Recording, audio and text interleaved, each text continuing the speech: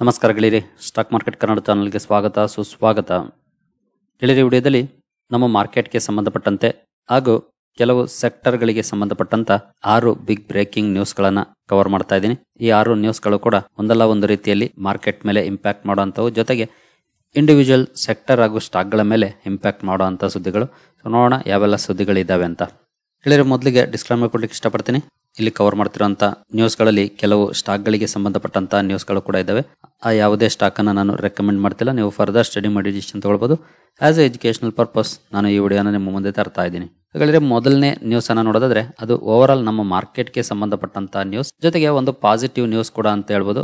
ನೋಡ್ಬೋದು ಇಲ್ಲಿ Saudi Arabia may cut oil prices for Asia for second month in August. ಬಹುಶಃ August ಅಲ್ಲಿ Saudi Arabia ಏಷ್ಯಾಗೆ supply ಮಾಡುವಂತ ಕ್ರೂಡ್ ಆಯಿಲ್ ಪ್ರೈಸ್ ಕಟ್ ಮಾಡಬಹುದು ಅನ್ನುವಂತ ಸುದ್ದಿ ಇದು. ಖಂಡಿತ ಕ್ರೂಡ್ ಆಯಿಲ್ ಪ್ರೈಸ್ ಕಡಿಮೆ ಆಗುದು ಅಂತಂದ್ರೆ ಅದು ಮಾರ್ಕೆಟ್ಗೆ ಬಿಗ್ ಪಾಸಿಟಿವ್ ಪಾಯಿಂಟ್ ಆಗುತ್ತೆ. ಯಾಕೆಂತಂದ್ರೆ ಕ್ರೂಡ್ ಆಯಿಲ್ ಮೇಲೆ ಇನ್ಫ್ಲೇಷನ್ ಡಿಪೆಂಡ್ ಆಗಿರುತ್ತೆ. ಕ್ರೂಡ್ ಆಯಿಲ್ ಜಾಸ್ತಿ ಆದ್ರೆ ಇನ್ಫ್ಲೇಷನ್ ಜಾಸ್ತಿ ಆಗುತ್ತೆ. ಯಾಕಂದ್ರೆ ಟ್ರಾನ್ಸ್ಪೋರ್ಟೇಷನ್ ಕಾಸ್ಟ್ ಜಾಸ್ತಿ ಆಗುತ್ತೆ ಕ್ರೂಡ್ ಜಾಸ್ತಿ ಆದ್ರೆ. ಹಾಗಾಗಿ ಈ ರೀತಿಯ ಡಿಸಿಷನ್ ಬಂದ್ರೆ ಖಂಡಿತ ಅದು ಪಾಸಿಟಿವ್ ಪಾಯಿಂಟ್ ಆಗುತ್ತೆ ಮಾರ್ಕೆಟ್ಗೆ. ಗೊತ್ತಿಲ್ಲ ಎಷ್ಟರ ಮಟ್ಟಿಗೆ ಇವರು ಕಡಿಮೆ ಮಾಡ್ತಾರೆ ಅಂತ. ಇವ್ರು ಯಾಕೆ ಕಡಿಮೆ ಮಾಡ್ಲಿಕ್ಕೆ ಯೋಚನೆ ಮಾಡ್ತಿದ್ದಾರೆ ಅಂತಂದ್ರೆ ಇಲ್ಲಿ ನೋಡಬಹುದು tracking weakness in Middle East benchmark Dubai trade sources said on Friday ಅಂದ್ರೆ ಪ್ರೈಸ್ ಜಾಸ್ತಿ ಆಗಿರೋದ್ರಿಂದ ವೀಕ್ನೆಸ್ ಕಂಡು ಬರ್ತಾ ಇದೆ. ಜೊತೆಗೆ ನಾನ್ ಒಪೆಕ್ ಕಂಟ್ರೀಸ್ ಇಂದ ಸಪ್ಲೈ ಜಾಸ್ತಿ ಆಗ್ತಿದೆ. ಅದನ್ನ ನಾವು ಕಂಟ್ರೋಲ್ ಮಾಡಬೇಕು ಅಂತಂದ್ರೆ ನಾವು ಕೂಡ ಕಡಿಮೆ ಪ್ರೈಸ್ಗೆ ಕೊಡಬೇಕಾಗ್ಬೋದು.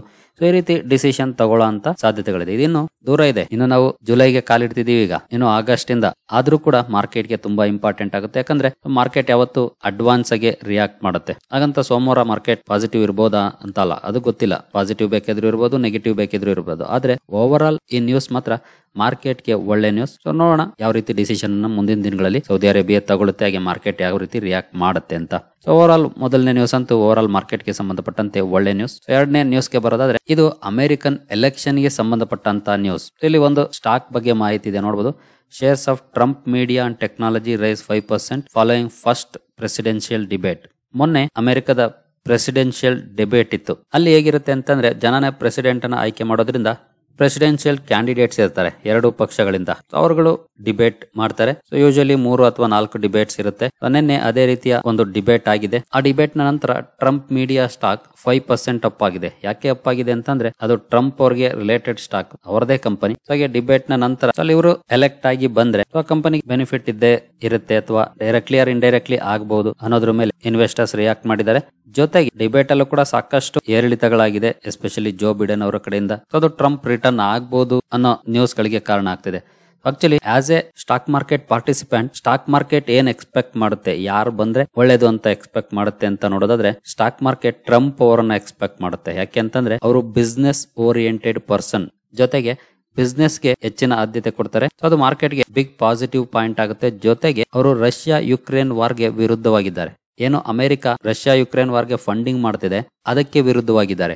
ಅವರೇನಾದ್ರೂ ಅಧಿಕಾರಕ್ಕೆ ಬಂದ್ರೆ Russia, Ukraine war may be end ಆಗ್ಬೋದು ಅನ್ನುವಂತ ಎಕ್ಸ್ಪೆಕ್ಟೇಷನ್ ಕೂಡ ಇದೆ ಸ್ಟಾಕ್ ಮಾರ್ಕೆಟ್ ಇನ್ವೆಸ್ಟರ್ಸ್ ಅಲ್ಲಿ. ಜೊತೆಗೆ ಏನು? ಇಸ್ರೇಲ್ ಕಾನ್ಫ್ಲಿಕ್ಟ್ ಇದೆ, ಅದು ಕೂಡ ಎಂಡ್ ಆಗ್ಬೋದು ಅನ್ನುವಂಥದ್ದಿದೆ ಹಾಗಾಗಿ ಈ ಕೆಲವು ಸಮಸ್ಯೆಗಳಿಗೆ ಮುಕ್ತಿ ದೊರಕಿದ್ರೆ ಗ್ಲೋಬಲ್ ಡಿಸ್ಟರ್ಬೆನ್ಸಸ್ ಏನಿರುತ್ತೆ ಮ್ಯಾಕ್ರೋ ಎಕನಾಮಿಕ್ ಡಿಸ್ಟರ್ಬೆನ್ಸಸ್ ಏನಿರುತ್ತೆ, ಅದೆಲ್ಲನೂ ಕೂಡ ಎಂಡ್ ಆಗೋ ಚಾನ್ಸಸ್ ಇರುತ್ತೆ.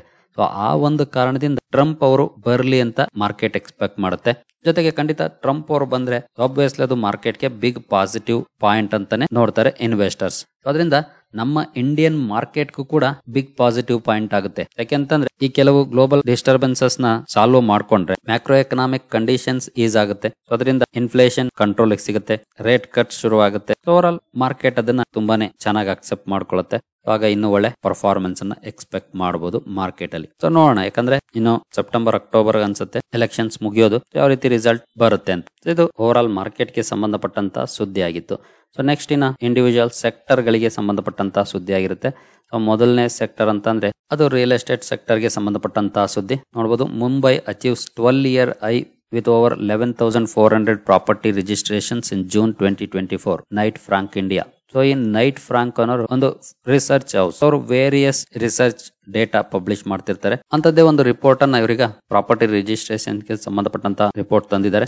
Especially June registration data overall ಹನ್ನೊಂದು ಸಾವಿರದ ನಾನೂರು ಪ್ರಾಪರ್ಟಿ ರಿಜಿಸ್ಟ್ರೇಷನ್ ಜೂನ್ ಅಲ್ಲಿ ಆಗಿದೆ. ಕಳೆದ ವರ್ಷದ ಜೂನ್ ಹೋಲಿಸಿದ್ರೆ ಹನ್ನೊಂದು ಪರ್ಸೆಂಟ್ ಅಪ್ ಆಗಿದೆ. ಹಾಗೆ ಇದರಿಂದ ಬರ್ತಿರುವಂತ ರೆವಿನ್ಯೂಸ್ ಅಲ್ಲಿ ಫಿಫ್ಟೀನ್ ಪರ್ಸೆಂಟ್ ಅಪ್ ಆಗಿದೆ. ಇಲ್ಲಿ ನೋಡಬಹುದು ಅಪ್ರಾಕ್ಸಿಮೇಟ್ಲಿ ಹನ್ನೊಂದು ಸಾವಿರದ ನಾನೂರ ನಲವತ್ಮೂರು ಪ್ರಾಪರ್ಟಿ ರಿಜಿಸ್ಟ್ರೇಷನ್ ಆಗಿದೆ. Highest in the last twelve years ಕಳೆದ ಹನ್ನೆರಡು ವರ್ಷಗಳಲ್ಲಿ ಅತಿ ಹೆಚ್ಚು ರಿಜಿಸ್ಟ್ರೇಷನ್ಸ್ ಅಂತ ಹೇಳ್ತಿದ್ದಾರೆ. ಹಾಗೆ ಸುಮಾರು ಒಂಬೈನೂರ ಎಂಬತ್ತಾರು ಕೋಟಿ ಕಾಂಟ್ರಿಬ್ಯೂಟ್ ಮಾಡಿದೆ ಈ ಬುಕಿಂಗ್ಸ್ ಅದನ್ನ ಪಬ್ಲಿಷ್ ಮಾಡಿರೋದು ನೋಡಬಹುದು Knight Frank India a real estate consultancy ಇವರು ಕಳೆದ ಹನ್ನೆರಡು ವರ್ಷದ ಡೇಟಾ ಅನಾಲಿಸಿಸ್ ಮಾಡಿ ಈ ರಿಪೋರ್ಟ್ ಅನ್ನ ತಂದಿದ್ದಾರೆ.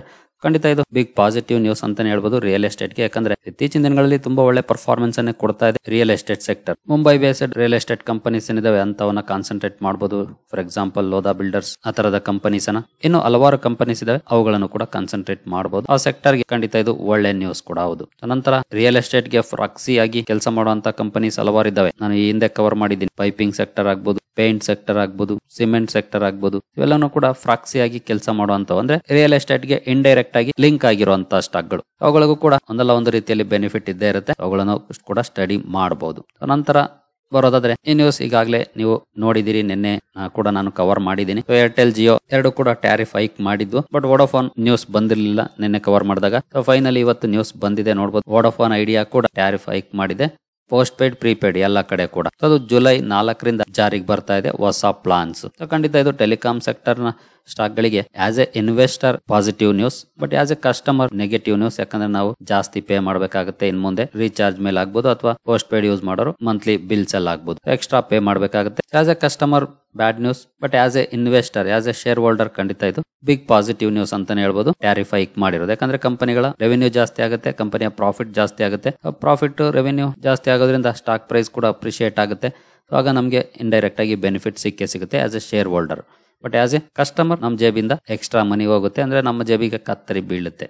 ನಂತರ ನೆಕ್ಸ್ಟ್ ನ್ಯೂಸ್ಗೆ ಬರೋದಾದ್ರೆ, ಇದು ಕೂಡ ಇಂಡಿವಿಜುವಲ್ ಸ್ಟಾಕ್ ಗಳಿಗೆ ಸಂಬಂಧಪಟ್ಟಂತ ನ್ಯೂಸ್ ನೋಡಬಹುದು Ashok Leyland partners with Bajaj Finance for vehicle finance so vehicle ಫೈನಾನ್ಸ್ಗೆ ಸಂಬಂಧಪಟ್ಟಂತೆ ಅಶೋಕ್ ಲೇಲ್ಯಾಂಡ್ ಬಜಾಜ್ ಫೈನಾನ್ಸ್ ಜೊತೆ ಒಪ್ಪಂದವನ್ನು ಮಾಡಿಕೊಂಡಿದೆ. ಇಲ್ಲಿ ನೋಡಬಹುದು the company signed a memorandum of understanding with Bajaj Finance as part of Bajaj Finserv for the purpose Ashok Leyland said in a statement ಅಂದ್ರೆ ಇನ್ಯಾರಾದ್ರೂ Ashok ಲೇಲ್ಯಾಂಡ್ನ vehicle ತಗೊಳಕ್ ಹೋದ್ರೆ ನಮಗೆ ಲೋನ್ ಬೇಕು ಅಂತ ಕೇಳಿದ್ರೆ ಅವರು ಬಜಾಜ್ ಫೈನಾನ್ಸ್ ಇಂದ ಕೊಡಿಸ್ತಾರೆ. ಇದು ಬಜಾಜ್ ಫೈನಾನ್ಸ್ಗೆ ಖಂಡಿತ ಬಿಗ್ ಪಾಸಿಟಿವ್ ನ್ಯೂಸ್ ಅಂತಾನೆ ಹೇಳ್ಬೋದು. ಅಶೋಕ್ ಲೇಲ್ಯಾಂಡ್ನ ಸೇಲ್ಸ್ ಜಾಸ್ತಿ ಆದಷ್ಟು ಇವರ ಬಿಸ್ನೆಸ್ ಕೂಡ ಚೆನ್ನಾಗಿ ಬೆಳೆಯುವಂತ ಸಾಧ್ಯತೆಗಳಿರುತ್ತೆ.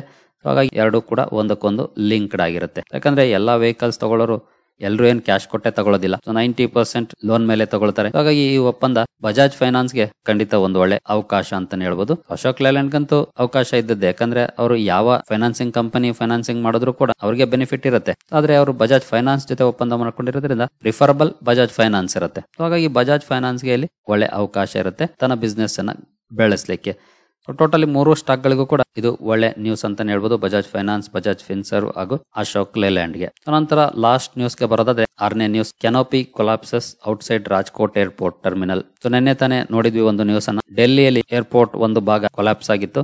ಅದರ ನಂತರ ಈಗ ರಾಜ್ಕೋಟ್ ಅಲ್ಲೂ ಕೂಡ ಅದೇ ರೀತಿ ಆಗಿದೆ. ಬಟ್ ಡೆಲ್ಲಿ ಅಷ್ಟು ಸೀರಿಯಸ್ ಇಲ್ಲ. ಸೊ ಏನು ಈ ರೀತಿ ಕೆನೋಪಿ ಹಾಕಿರ್ತಾರೆ. ಅದು ಕೊಲಾಪ್ಸ್ ಆಗಿದೆ ಒನ್ ಪಾರ್ಟ್ ಅಲ್ಲೂ ಕೂಡ. ಇದಕ್ಕೆ ಕಾರಣ ಹೆವಿ ರೈನ್ಸ್ ಅಂತ ಹೇಳ್ತಿದ್ದಾರೆ. ಎಸ್ಪೆಷಲಿ ನೀವು ಇಲ್ಲಿ ನೋಡಬಹುದು ಡೆಲ್ಲಿಯಲ್ಲಿ ಇಪ್ಪತ್ತೆಂಟನೇ ತಾರೀಕೇನು ಮಳೆ ಬಿದ್ದಿದೆ. ಅದು ಎಂಬತ್ತೆಂಟು ವರ್ಷಗಳಲ್ಲಿ ಅತಿ ಹೆಚ್ಚು ಮಳೆ ಅಂತೆ, ಒಂದೇ ದಿನ ಬಿದ್ದಿರೋದ್ರು. So heaviest downpour in eighty eight years so ಈ ರೀತಿ ಮಳೆ ಬಂದಾಗ ತುಂಬಾ ಬಿಗ್ ಇಂಪ್ಯಾಕ್ಟ್ಗಳು ಅದೇ ಆಗುತ್ತೆ. ಅದೇ ರೀತಿ ಆಗಿದೆ ಅಂತ ಹೇಳ್ಬೋದು. ಬಟ್ ಇಲ್ಲಿ ಕನ್ಸ್ಟ್ರಕ್ಷನ್ ಕೂಡ ಮ್ಯಾಟರ್ ಆಗುತ್ತೆ. ಯಾವ ರೀತಿ ಕನ್ಸ್ಟ್ರಕ್ಟ್ ಮಾಡಿದ್ರು ಅನ್ನೋದು. ಅದ್ರ ಬಗ್ಗೆ ಈಗಾಗಲೇ ಎನ್ಕ್ವೈರಿ ಕೂಡ ಶುರು ಮಾಡಿದ್ದಾರೆ. ಗೊತ್ತಾಗ, ಈ ರೀತಿ ಇನ್ಸಿಡೆಂಟ್ಸ್ ಆಗೋದು ಅಷ್ಟು ಒಳ್ಳೇದಲ್ಲ. ಏರ್ಪೋರ್ಟ್ ಅಥಾರಿಟೀಸ್ ಹಾಗೂ ಇವುಗಳನ್ನ ಬಿಲ್ಡ್ ಮಾಡಿರೋಂತ ಇನ್ಫ್ರಾ ಕಂಪನೀಸ್ ಕೇರ್ ತಗೊಳ್ಬೇಕಾಗತ್ತೆ. ಸರಿ ಈ ಎಲ್ಲ ಅಪ್ಡೇಟ್ಗಳು ನಿಮಗೆ ಇಷ್ಟ ಆಗಿದೆ ಅಂದ್ಕೊಳ್ತೀನಿ. ಮುಂದಿನ ವಿಡಿಯೋದಲ್ಲಿ ಸಿಗೋಣ. ಅಲ್ಲಿವರೆಗೂ ಜೈ ಹಿಂದ್ ಜೈ ಕರ್ನಾಟಕ.